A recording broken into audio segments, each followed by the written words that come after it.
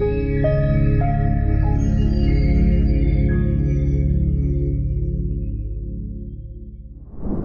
billahi mineşşeytanirracim. Bismillahirrahmanirrahim. Allahumme salli ala seyyidina ve nebiyyina Muhammed. Bismillahirrahmanirrahim. Rabbi şrah li sadr ve yessir li emr ve hlul ukdeten min lisan yafkahu kavl. Bismillahirrahmanirrahim. 12. nota. Ey bu notaları dinleyen dostlarım! Biliniz ki ben hilafı adet olarak gizlenmesi lazım gelen Rabbime karşı kalbimin tazarru ve niyaz ve münacatını bazen yazdığımın sebebi ölüm dilimi susturduğu zamanlarda dilime bedel kitabımın söylemesinin kabulünü rahmeti ilahiyeden rica etmektir. Evet, kısa bir ömürde hadsiz günahlarıma kefaret olacak muvakkat lisanımın tevbe ve nedametleri kafi gelmiyor. Sabit bir derece daimi olan kitabın lisanı daha ziyade o işe yarar. İşte 13 sene haşiye bu lisanın telifinden 13 sene evvel dağdağlı bir fırtınayı ruhiye neticesinde eski Said'in gülmeleri, yeni Said'in ağlamalarına inkılap edeceği hengamda gençliğin gaflet uykusundan ihtiyarlık sabahıyla uyandığım bir anda şu münacat ve niyaz Arabi yazılmıştır.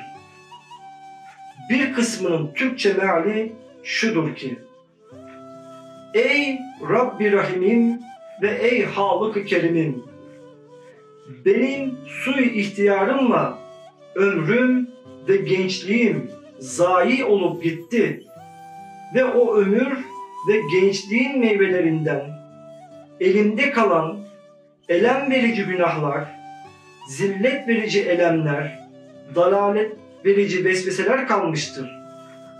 Ve bu ağır yük ve hastalıklı kalp ve hacetli yüzümle kabre yakınlaşıyorum. Bir müşahede göre göre gayet süratle sağa ve sola inhiraf etmeyerek ihtiyarsız bir tarzda vefat eden ahbap ve akran ve akaribim gibi kabir kapısına yanaşıyorum. O kabir bu dar faniden firak-ı ebedi ile ebedül abad yolunda kurulmuş, açılmış evvelki menzil ve birinci kapıdır. Ve bu bağlandığım ve meftun olduğum şu dar dünyada kat'i bir yakinim ile anladım ki Haliktir, gider ve fanidir ölür ve bir müşahede içindeki mevcudat dahi birbiri arkasında kafile kafile göçüp gider kaybolur. Hususan benim gibi nefsi emmareyi taşıyanlara şu dünya çok gaddardır, mekkardır, bir lezzet verse bin elem takar, çektirir. Bir üzüm yedirse yüz tokat vurur. Ey Rabbi Rahimim ve ey Halık-ı Kerimim kulü atin garib sırrıyla ben şimdiden görüyorum ki yakın bir zamanda ben kefenimi giydim, tabutuma bindim, dostlarımla veda eyledim.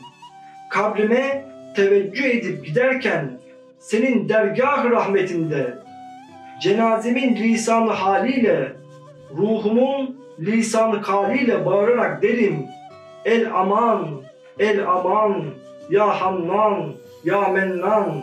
Beni günahlarımın hacaletinden kurtar. İşte kabrimin başına ulaştım, boynuma kefenimi takıp kabrimin başında uzanan cismimin üzerinde durdum. Başımı dergah rahmetine kaldırıp bütün kuvvetimle feryat edip nida ediyorum. El aman, El aman, ya Hannan, ya Mennan, beni günahlarımın ağır yüklerinden halas eyle. İşte kabrime girdim, kefenime sarıldım. Teşhiciler beni bırakıp gittiler. Senin affü rahmetini intizar ediyorum ve bir müşahede gördüm ki senden başka melce ve mence yok.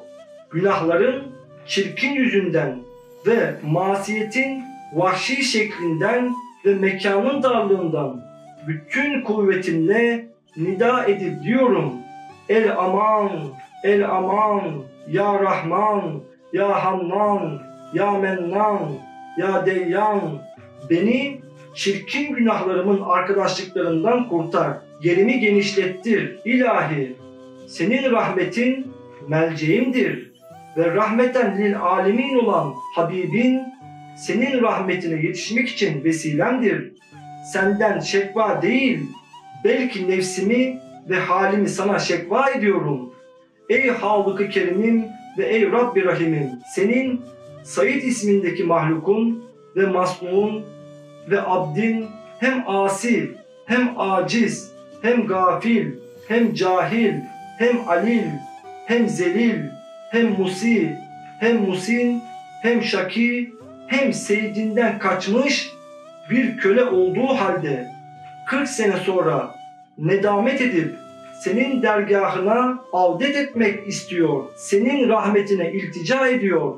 Hadsiz günah ve hatalarını itiraf ediyor. Evham ve türlü türlü illetlerle müptela olmuş sana tazarru ve niyaz eder.